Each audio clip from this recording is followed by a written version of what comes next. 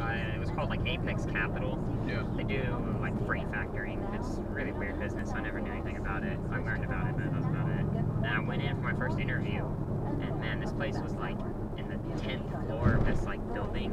Yeah. Super nice. It's like real nice building. Holy shit. Yo.